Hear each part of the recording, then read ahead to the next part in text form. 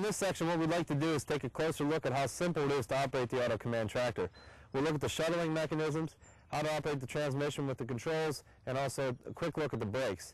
So we got brought the tractor outside here, we're ready to go. Let's climb in and take a look. So the first thing you need to do before you operate the Auto Command tractor is take it out of park. The Auto Command has a different style shuttle lever, which includes a park position. The park position is down and forward, as you can see indicated by this diagram right here. So when you're ready to run the tractor, you pull the tractor out of park and you're ready to choose a direction. So once you disengage the parking brake, you're now ready to choose a direction. With this shuttle lever on the auto command, you simply choose a direction and the shuttle returns to a center position, either forward or reverse. And when you choose a direction, you'll be able to see on the IntelliView 3 screen where the park brake symbol now turns to a tractor with an arrow direction. So once you've chosen a direction, you can see the tractor is now flashing with a forward arrow. There are two ways to get the tractor to actually move. One is the handle, the command grip handle here that I have my hand on, the other is the foot pedal. We'll start by describing the command grip handle. The system on the auto command is a force-based system, which means the harder I push on the handle, the more or the faster the tractor is going to accelerate. We'll give you an example here.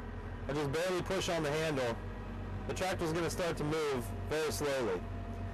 If I let off the handle, the tractor continues at that speed, but the handle returns to the center position.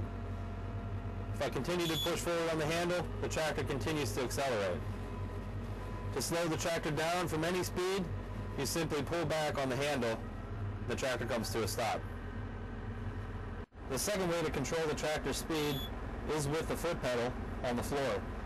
Not only does the foot pedal control the engine speed, it also controls the transmission ratio. So to get the tractor to actually move forward, I simply press down on the pedal and the tractor starts to move. As you let off the foot pedal, the tractor comes to a stop again. The further you push down, the faster the tractor will continue to move. So now that we know how to make the tractor move, let's talk a little bit how to make it stop. The brakes in the T7000 Auto Command tractor are a little bit different than previous tractors. The brake pedals are in the same place and function the same way. They work the axle brakes, but they also gear down the transmission ratio when they're depressed. For example, if an operator is driving down a gravel road and wants to bring the tractor to a stop, he would depress the brake pedal. The tractor will decelerate by both axle braking and transmission gear ratio. The tractor comes to a stop. When the operator wants to continue, all he needs to do is let off the brake pedal and the transmission will gear back up to the previous speed. If the operator wants to come to a complete stop, he can depress the brake pedal and pull back on the command grip handle to bring the tractor to a stop. The next thing I'd like to cover here are the shuttling methods of the T7000 Auto Command tractor. The first method is the column mounted shuttle. This is a shuttle you're used to with other T7000 tractors. The one difference is it's now a momentary switch. If you shuttle forward, the switch returns to the center. If you shuttle in reverse, the switch returns to center.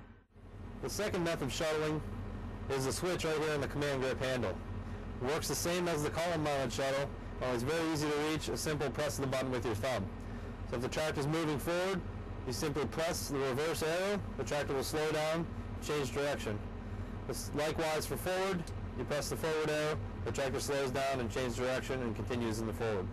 The third method of shuttling the tractor or controlling tractor direction is with the command grip handle. You simply use the handle to move the tractor forward when you want to switch direction, you bring the tractor to a stop by pulling the handle backward. Once you come to a stop, return the handle to neutral and pull backwards. The tractor will move in a rearward direction.